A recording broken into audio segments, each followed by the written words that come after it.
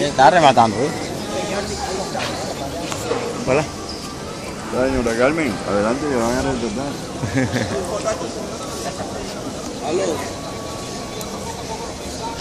¿Y qué tanto han cambiado las cosas aquí en este en el mercado de granos lo- con los últimos años? No se de todo.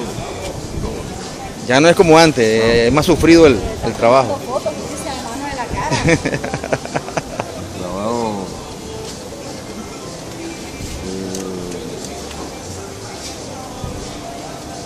ya que uno, mismo tiene que barrer.